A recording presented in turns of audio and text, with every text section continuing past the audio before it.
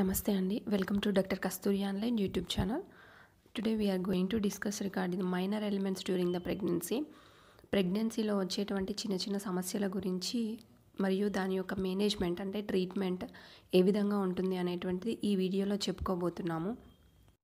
ఈ పిక్చర్లో చూడండి. టోటల్ ఓవరాల్గా మనకి ఎలాంటి ప్రాబ్లమ్స్ వస్తాయి అనేటువంటి ఇమేజెస్ మనం ఇచ్చాము.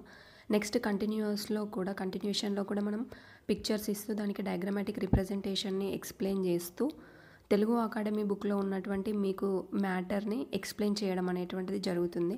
తెలుగు అకాడమీ బుక్స్ అనేటువంటివి టెక్స్ట్ బుక్స్ ఒక గ్రంథం లాంటివి ఇంటర్మీడియట్లో ఎందుకంటే ఈ తెలుగు అకాడమీ టెక్స్ట్ బుక్స్ నుండి ఎగ్జాక్ట్ క్వశ్చన్స్ అనేటువంటివి ఎగ్జామ్లో రావడం జరుగుతుంది కాబట్టి కంప్లీట్గా ఈ సిలబస్ని మీరు కంప్లీట్ చేసినట్లయితే ప్రతి ఒక్క క్వశ్చన్కి ఆన్సర్ చేయగలుగుతారు. కాన్ఫిడెంట్గా ఆన్సర్ చేయగలుగుతారు.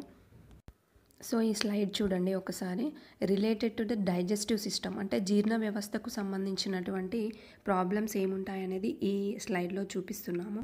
ఇందులో nausea and vomiting constipation acidity and heartburn excessive saliva abdominal discomfort ఇవన్నీ కూడా మనకి డైజెస్టివ్ సిస్టమ్ అంటే జీర్ణ వ్యవస్థకు సంబంధించినటువంటి ప్రాబ్లమ్స్ అన్నమాట. నాసియా అండ్ వామిటింగ్ అనేటువంటిది మెయిన్గా ఫస్ట్ టైం ప్రెగ్నెన్సీ వచ్చిన వాళ్ళలో ఎక్కువగా ఉంటుందన్నమాట ఇలాంటి సిమ్టమ్స్ వామిటింగ్ రావడము లేదా వామిటింగ్ సెన్సేషన్ ఉండడము బెడ్ మీద నుండి లేవగానే ఎర్లీ మార్నింగ్ ఈ వామిటింగ్ సెన్సేషన్ అనేటువంటిది ఎక్కువగా కనిపిస్తుంది. Primigravida. ఈ స్లైడ్లో చూడండి. మనం ప్రైమరీ గ్రావిడాలో ఎక్కువగా చూస్తామని చెప్పాం. ప్రైమీ అంటే ఏంటి? ఫస్ట్ టైం ప్రెగ్నెంట్ అయినటువంటి ఉమెన్ అనమాట మెయిన్గా ఒక fifty percent of the women లోపల ఈ రెండు రకాలైనటువంటి లక్షణాలు నాజియా అండ్ వామిటింగ్ అనిపిస్తాయి. కొంతమందిలో ఓన్లీ వామిటింగ్ సెన్సేషన్ ఉంటుంది. అంటే అది నాజియా అనమాట బట్ వామిటింగ్ అనేటువంటిది అవ్వదు. అరౌండ్ ట్వంటీ ఫైవ్ పర్సెంట్ వాళ్ళకి ఆ విధంగా ఉంటుంది. మరొక ట్వంటీ ఫైవ్ పర్సెంట్ వాళ్ళకి వామిటింగ్ కూడా వచ్చే ఛాన్సెస్ ఉంటాయి అన్నమాట ఈ విధంగా నాజియా అండ్ వామిటింగ్ అనేటువంటిది ఎక్కువగా అవడం వల్ల డీహైడ్రేషన్ అనేటువంటిది అయ్యే ఛాన్సెస్ ఉంటాయి. సో ఇలాంటి లక్షణాలను మనం తగ్గించాలి అని అంటే దానికి ఏ విధంగా మేనేజ్మెంట్ మీన్స్ ట్రీట్మెంట్ ఏ విధంగా చేస్తాము అనేది చూద్దాము ఈ స్లైడ్లో. మెయిన్గా డైటరీ అడ్వైస్ అనేటువంటిది ఇంపార్టెంట్. లిక్విడ్ ఫ్లూయిడ్స్ ఎక్కువగా తీసుకోవాలి వాటర్ అనేటువంటిది ఎక్కువ తీసుకోవడం ఇంపార్టెంట్. ఎక్కువగా డ్రై ఫుడ్ కానీ ఫ్యాటీ ఫుడ్ కానీ ఆయిల్ ఫుడ్ ఎక్కువగా తీసుకోకూడదు. ఈజీగా డైజెస్ట్ అయ్యేటువంటి ఫుడ్ తీసుకోవడం అనేది చాలా ఇంపార్టెంట్. అండ్ ఫ్రూట్స్ అనేటువంటిది ఎక్కువగా తీసుకోవాలి. మెయిన్గా ఇన్ ద మార్నింగ్ టైమ్స్లో ఎక్కువ తీసుకున్నట్లయితే దాంట్లో ఉండేటువంటి వైటమిన్స్ మినరల్స్ అనేటువంటివి బాడీకి అంది. అంతేకాకుండా వామిటింగ్ సెన్సేషన్ కూడా తగ్గే ఛాన్సెస్ ఉంటాయి అన్నమాట ప్రతిసారి తిన్న వెంటనే బ్రష్ చేసుకోవడం అనేటువంటిది అది అలవాటు కొద్దిగా తగ్గించుకోవాలి. కొంతమందికి తిన్న వెంటనే బ్రష్ చేసుకోవడం అనేటువంటిది అలవాటు ఉంటుంది. దానివల్ల కూడా వామిటింగ్ సెన్సేషన్ ఎక్కువ అయ్యే ఛాన్సెస్ ఉంటాయి నెక్స్ట్ దానివల్ల ఏమవుతుందంటే ఈసోఫేజియల్ రిఫ్లెక్స్ అన్నం బ్రష్ చేసుకునేటప్పుడు రిఫ్లెక్స్ అనేటువంటిది గొంతు నుండి వచ్చేసి స్టమక్ నుండి రిఫ్లెక్స్ గొంతుకు వచ్చేసి వామిటింగ్ అయ్యే ఛాన్సెస్ ఉంటాయి అన్నమాట ఎక్కువగా స్పైసీ ఫుడ్స్ అనేటువంటివి తక్కువగా తీసుకోవాలి. స్పైసీగా ఎక్కువ ఉండేటువంటి ఫుడ్స్ తీసుకోవడం వల్ల అసిడిటీ వచ్చేసి దానివల్ల కూడా నాజియా వామిటింగ్ అనేటువంటిది అయ్యే ఛాన్సెస్ ఉంటాయి. బ్లడ్ షుగర్ లెవెల్స్ కూడా కరెక్ట్గా మెయింటైన్ చేయాలి. ఎక్కువగా స్వీట్స్ తీసుకోవడం వల్ల కూడా బ్లడ్ షుగర్ లెవెల్స్ పెరిగే ఛాన్సెస్ ఉంటాయన్నమాట. మెయిన్గా హ్యూమన్ కొరియోన్ గుణ గుణోట్రాఫిక్ హార్మోన్ హెచ్సిజి లెవెల్స్ అనేటువంటివి పెరగడం వల్ల కూడా ఇలాంటి సెన్సేషన్ ఎక్కువగా ఉంటుంది. సో వాటర్ కంటెంట్ కానీ లిక్విడ్స్ ఫ్లూయిడ్స్ ఎక్కువగా తీసుకున్నట్లయితే వాళ్ళకి డీహైడ్రేషన్ కాకుండా కాపాడవచ్చు అనమాట ఒకవేళ వామిటింగ్స్ ఎక్కువైపోయినట్లయితే డీహైడ్రేషన్ అవ్వడం వల్ల వాళ్ళకి ఈవెన్ సెలైన్స్ ఎక్కించేటువంటి అవకాశం ఉండొచ్చు.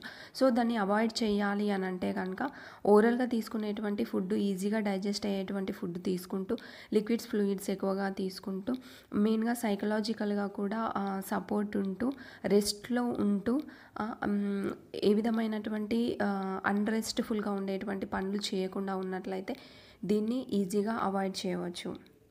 నెక్స్ట్ వచ్చేసి ఈ స్లైడ్ చూడండి. టయాలిజం టయాలిజం అంటే ఏంటంటే ఎక్సెసివ్ సలైవేషన్. అంటే నోట్లో నీరు ఎక్కువగా ఊరడం అనమాట టయాలిజం అనేటువంటిది అన్యూజువల్ కండిషన్ ఇది. ఇది దేనివల్ల వచ్చే ఛాన్సెస్ ఉంటుందంటే అసిడిటీ అనేటువంటిది మౌత్లో నోట్లో ఎక్కువగా రిలీజ్ కావడం వల్ల intake of the starch stimulating the salivary glands in women అంటే మనం స్ట కార్బోహైడ్రేట్స్ స్టార్చ్ కంటెంట్ పిండి పదార్థాలు ఎక్కువగా తీసుకోవడం వల్ల నోట్లో ఉండేటువంటి సలైవ కార్బోహైడ్రేట్స్ని డైజెస్ట్ చేస్తుంది కాబట్టి మనకి ఆ సల్ దానివల్ల ఎక్ ఎక్కువగా సలైవ అనేటువంటిది ఉత్పత్తి అయ్యే ఛాన్సెస్ ఉంటాయి అన్నమాట in women susceptible to excessive secretion and their condition becomes cyclic associated with nausea. అంటే నాజియా అంటే ఏంటి? ఇందాక చెప్పుకున్నాం మనం వామిటింగ్ సెన్సేషన్ రావడం అనేది. ఈ సలైవ ఎక్కువగా రావడము వామిటింగ్ సెన్సేషన్ రావడము ఇవి రెండు సైమల్టేనియస్గా జరిగేటువంటి సైక్లిక్ సిమ్టమ్స్ అనమాట నెక్స్ట్ వచ్చేసి నెక్స్ట్ స్లైడ్లో హార్ట్ బర్న్ మెయిన్గా హార్ట్ బర్న్ అనేటువంటిది దీనికి మరొక పేరు పైరోసిస్ అని కూడా అంటాం అనమాట ఎసిడిక్ నేచర్ అనేటువంటిది స్టమక్లో ఎక్కువగా పెరగడం వల్ల ఇలాంటి హార్ట్ బర్న్ సిమ్ సిమ్టమ్ అనేటువంటిది కనిపిస్తుంది.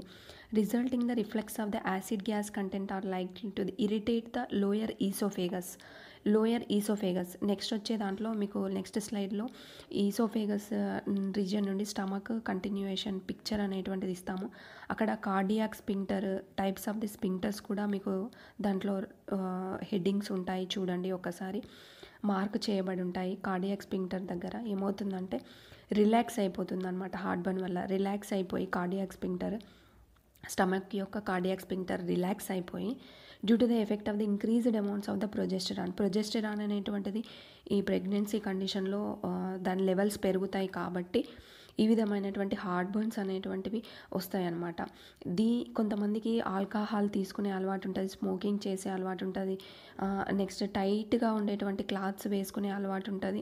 మెయిన్గా ఇవి అదర్ కంట్రీస్లో ఎక్కువగా ఇలాంటి హ్యాబిట్స్ ఉంటాయి.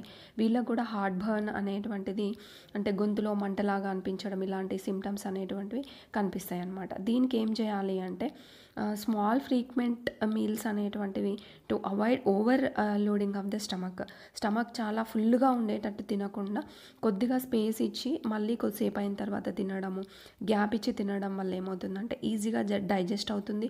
ప్లస్ అసిడిక్ లెవెల్స్ అనేటువంటివి స్టమక్లో మెయింటైన్ అవుతాయి.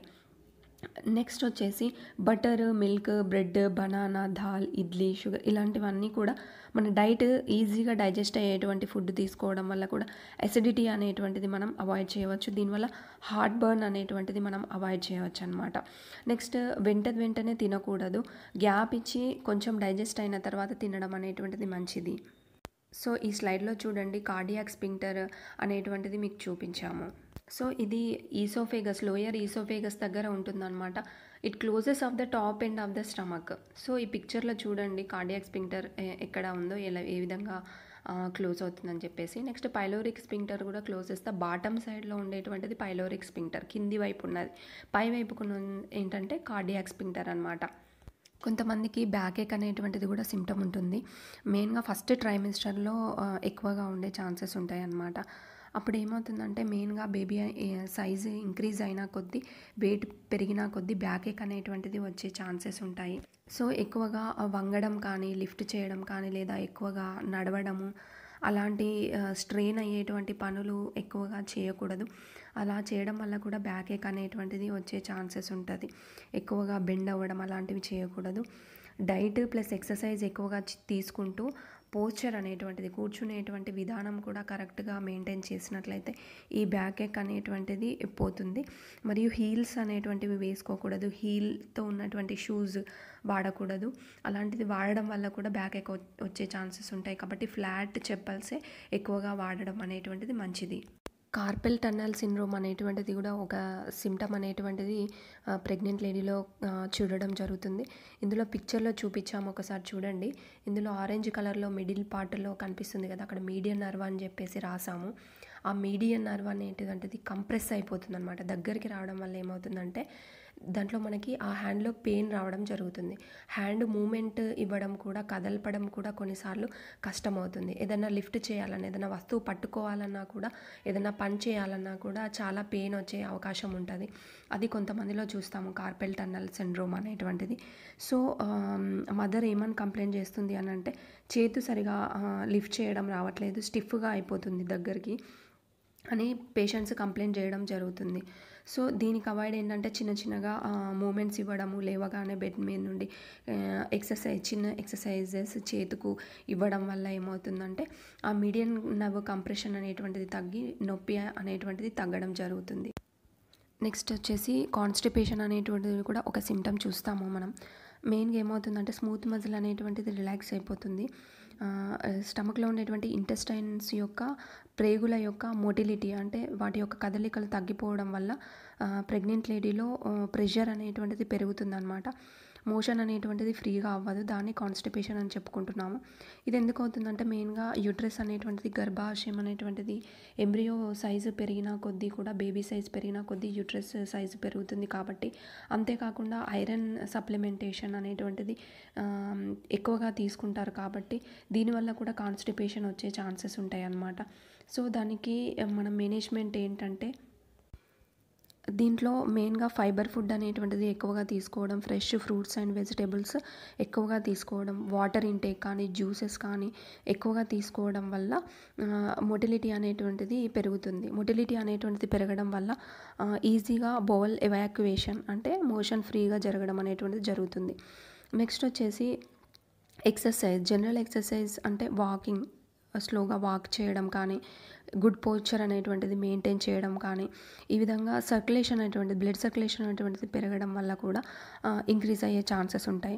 చాలా సివియర్గా కాన్స్టిపేషన్ ఉన్న వాళ్ళకి డాక్టర్ ప్రిస్క్రిప్షన్తో లాక్సేటివ్స్ అనేటువంటివి ఇస్తూ ఉంటారు. స్టూల్ సాఫ్ట్నర్స్ కానీ ఇస్తారు.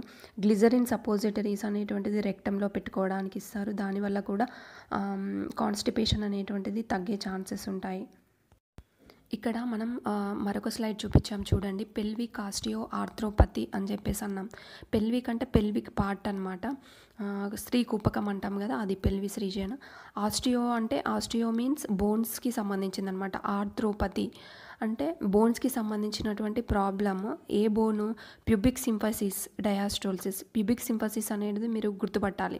ఇదివరకే మనం చాలాసార్లు ఎక్స్ప్లెయిన్ చేసాము పెల్విక్ రీజియన్ దగ్గర ఫ్రంట్ పార్ట్లో ఉండేది ప్యూబిక్ సింఫసిస్ అని. ఆ ప్యూబిక్ సింఫసిస్ దగ్గర జాయింట్స్ అనేటువంటిది ఉంటుంది. ప్రొజిస్టిరాన్ లెవెల్స్ పెరగడం వల్ల రిలాక్స్ అవుతుంది అనమాట pubic symphysis. Next surrounding ligaments కూడా రిలాక్స్ అవుతుంది. నెక్స్ట్ వచ్చేసి దీనివల్ల ఏమవుతుందంటే సైజ్ అనేటువంటిది కొద్దిగా పెరిగినట్టు గ్యాప్ రావడం వల్ల మనకి గేట్ కూడా ఆల్టర్డ్ గేట్ గేట్ అనేటువంటి చేంజ్ అవుతుంది. గేట్ అంటే ఏంటి? నడక విధానం అనమాట కొంచెం మదర్కి డిస్కంఫర్ట్గా ఉండడం వల్ల వాళ్ళు నడక విధానంలో కొంచెం గేట్ చేంజ్ అయ్యే అవకాశం ఉంటుంది. దీన్ని మనం పెల్వి ఆస్టియో ఆర్థ్రోపతి అంటామన్నమాట. నెక్స్ట్ వచ్చేసి యూరినరీ ప్రాబ్లమ్స్ ఈ స్లైడ్లో చూడండి. మనం ఇంపార్టెంట్ డిస్టోనియా యూరినరీ రిటెన్షన్ ఈ ఇక్కడ అండర్లైన్ చేసాం దాన్ని నేను ఎక్స్ప్లెయిన్ చేస్తాను. ఫస్ట్ చూడండి స్లైడ్ ఇందులో యూరినరీ ఫ్రీక్వెన్సీ అనేటువంటిది పెరుగుతుందన్నమాట ఫ్రెగ్ ప్రెగ్నెంట్ లేడీలో ఎందుకంటే యూట్రస్ ఉంటుంది కదా గర్భాశయము. దాని కింద మనకి uh, urinary tract urinary bladder అనేటువంటిది ఉంటుంది. ప్రెగ్నెంట్ లేడీలు ఏమవుతుంది? గర్భాశయం బేబీ పెరిగిన కొద్దీ సైజ్ పెరిగిన కొద్దీ గర్భాశయం యొక్క సైజ్ పెరగడం వల్ల యూట్రస్ అనేటువంటిది బ్లాడర్ మీద ప్రెషర్ ఇస్తుంది. బ్లాడర్ అనేటువంటి కిందికి ఉంటుంది కాబట్టి బ్లాడర్ మీద ప్రెషర్ పడుతుంది. ఒత్తిడి పడడం వల్ల ఇరిటేట్ అవుతుంది అనమాట ట్రైగోన్ పార్ట్ ట్ర యూరినరీ బ్లాడర్లో మధ్యలో ట్రైగోన్ పార్ట్ అనేటువంటిది ఉంటుంది.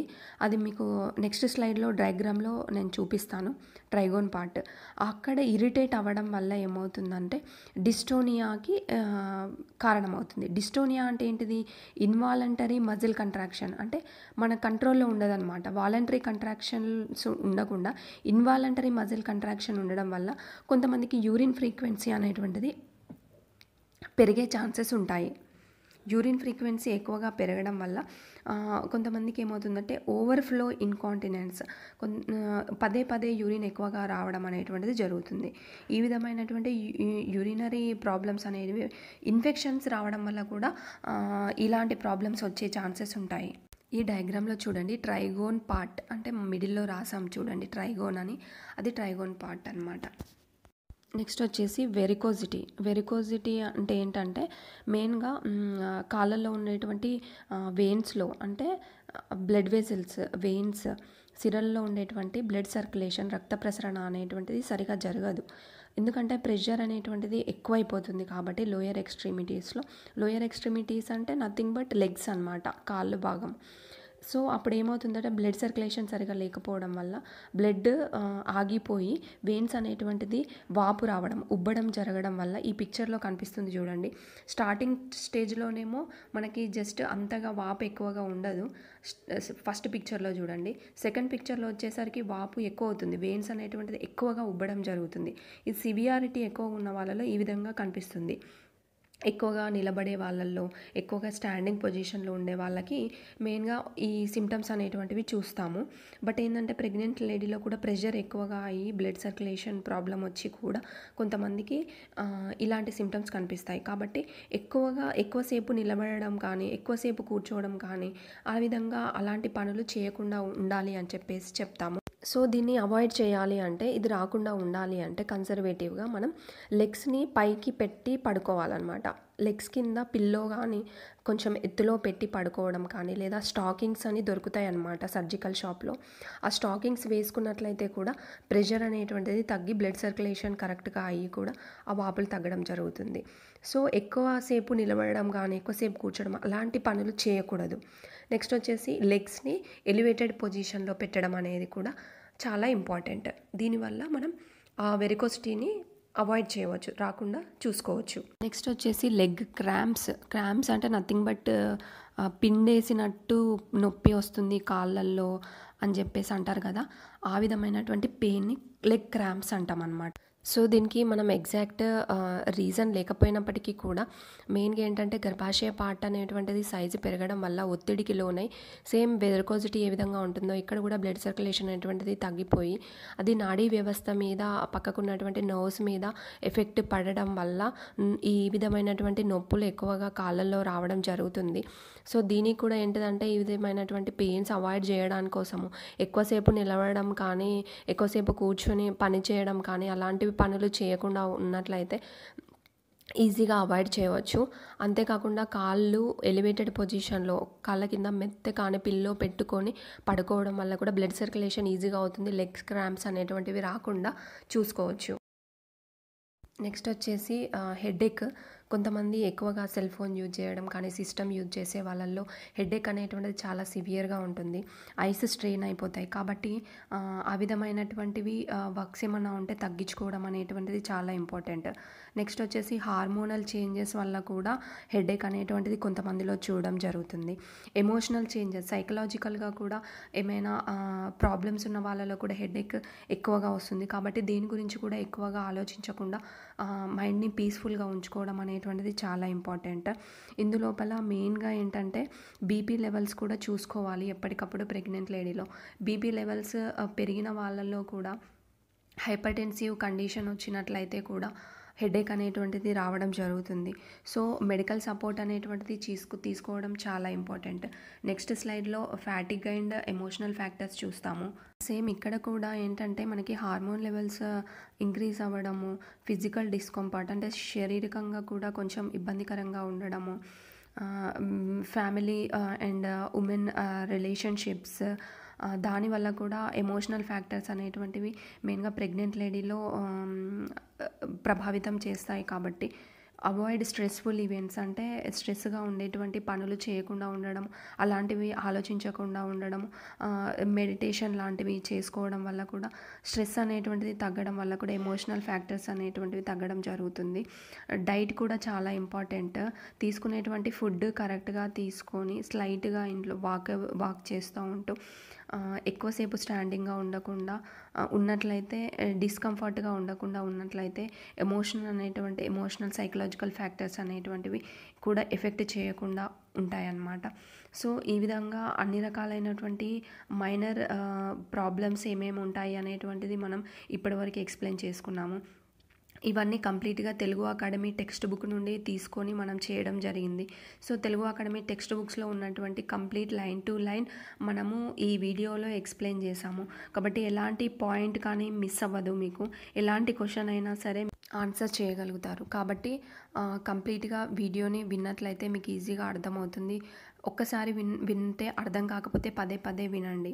ఎలాంటి ఎగ్జామ్లోనైనా సరే తెలుగు అకాడమీ టెక్స్ట్ బుక్స్ని మెయిన్గా బేసిక్గా ఫాలో అవుతారు. మీకు వచ్చేటువంటి ప్రతి ఎంట్రన్స్ బిట్ కానీ లేదంటే థీరీ పార్ట్లో వచ్చేటువంటి ఎగ్జామ్లో వచ్చే questions short questions long questions అన్నీ కూడా తెలుగు అకాడమీ టెక్స్ట్ బుక్ నుండే వస్తాయి. కాబట్టి మీరు దీన్ని ఫాలో అయ్యి లాస్ట్లో ఉండేటువంటి క్వశ్చన్స్ ఒకసారి చేయండి. తప్పకుండా మీరు ఆన్సర్ చేయగలుగుతారు. ఈ వీడియోస్ మీకు ఒకసారి అర్థం కాకపోతే పదే పదే వినడానికి ఖచ్చితంగా ఫ్రీగానే మేము ఆన్లైన్లో అవైలబుల్గా ఉంచుతున్నాము. కాబట్టి మీరు విని అర్థం చేసుకొని ఆన్సర్ చేయడానికి అవకాశం ఉంటుంది. సో నెక్స్ట్ వీడియో వచ్చేసి మనం యాంటీనేటల్ కేర్ అని చెప్పేసి next unit next chapter explain చేసుకోబోతున్నాము. కాబట్టి please like share and subscribe అండి for next videos. Thank you so much and please share to your friends also thank you for subscription and sharing thank you so much